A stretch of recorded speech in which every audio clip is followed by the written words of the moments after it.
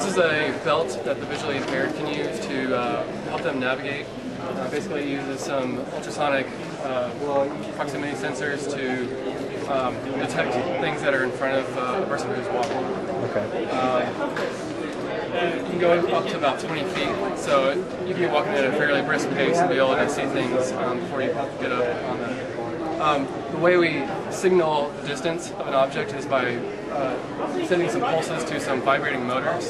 So the closer you get to something, the uh, faster it vibrates, and if you're right up on it, it will just vibrate continuously. And we use, to get that distance, we use a rectifier that has a, off DC voltage. So it, the higher the voltage is on this, on this part here, the side part, the closer you are to the object. And the other part, the lower the voltage is, the closer you are to the object. So if it's like, I think this one gives off, we have the chart right there of the voltages we have. Over here. So those are, the, those are the voltages we get, depending on how far away we are from the object. So, that's how we determine the distance of our, our thing. We also have a tone decoder which only passes 40 kilohertz signals. So if there's noise in the signal, we won't. We still get a voltage because rectifier rectifies no matter what comes in, doesn't matter what the frequency is or whatever. But that thing allows us to know that it's a 40 kilohertz signal, so actually we want to get it. So it, that thing's that thing's it goes low if it's a 40 kilohertz. So if it, that's what happens, then we have 40 kilohertz signal. We, want, we actually want to use that our distance what are the ranges that you're changing the, like, how fast the motor is? Like, what are the distances that you're Zero to three feet is going to be a constant high voltage, and then uh, three to six feet is going to be slow. Um, six That's to fast. Fast.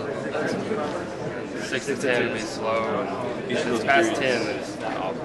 Each of those periods is one second. So basically, you get two pulses per second, or you get a constant pulse, or you get one pulse per second, or no pulse. That's how you determine. All right, let's fire this thing up. Can you tell the direction of it, I'm sorry. Is it just a distance, or is it directional noise? Uh, Well, that was actually part of uh, the reason that because we got the, the two on that side. Uh, one's transmitting, one's receiving. On this side, it's doing both.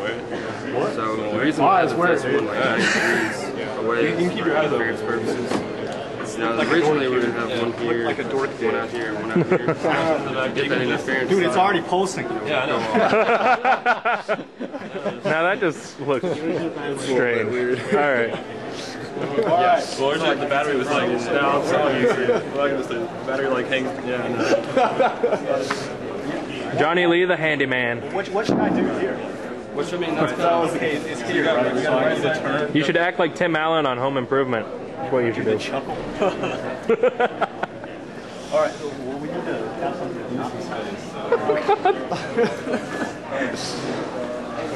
Look at the people that Hang away.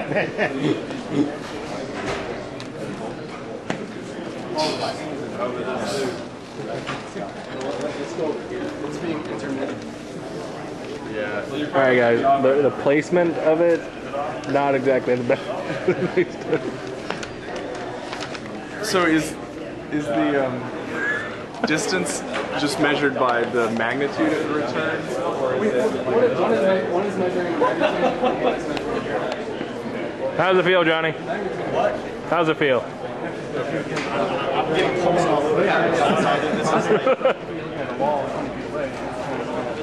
right?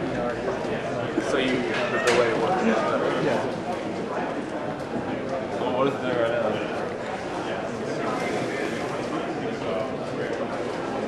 I would have personally gone for a vest. A Vest. Yeah. The uh, I admit I couldn't hear the word. What's Have the, have the transducers like right here. Yes. that might look a little bit better, like a codpiece. No, no, it's all right. Yeah, I guess. It is real sensitive. So, yeah, I guess, I don't know, it'd probably be, there's too much crap around. Like, yeah. you know, it, it was like more in the open. Oh, I don't know, if we take it out. Should I give it a try? If if someone walks by though and it, it hits that thing, it'll make it go off. That's the problem. So that's, that's Okay. really sensitive.